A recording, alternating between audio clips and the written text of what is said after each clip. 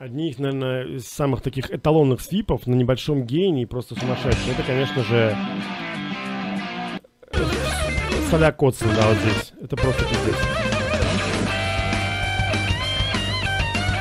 Это вам не Блэкмор какой-нибудь непонятный.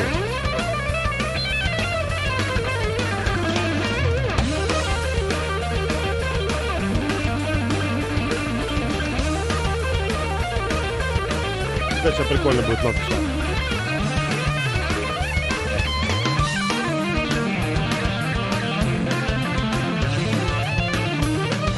сейчас. Будет такая нотка прямо. Как она у меня не сдулась, это, представляете, это вот реально звучит и как бы выглядит, как будто прям такая вот барышня, прям танцует, танцует, там вся как бы, причем с формами там, и прям какой-то край пропасти, она прям вот встает на край пропасти, на одном каблучке вот так вот прокручивается, и прям оп, и обратно на землю и дальше танцует. Вот реально вот эта нота так звучит. Вот это прям. Понесло.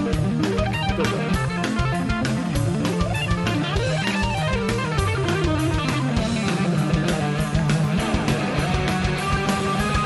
Вот это, блядь, соло, которое должно быть в композиции Burn, а не дреслище какое-то от Блэкмора.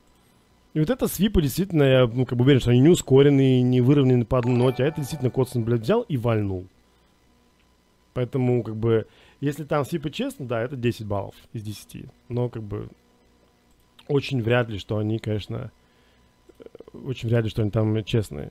Блэкмор бы все зажив... Блэкмор бы, по-вашему, полностью устроил, устроил полный Trees My Life, да, просто мистер Краули, но он даже такую партию не понял, как к ней подойти вообще, как вот именно такие сепчанские, как бы, вальнуть.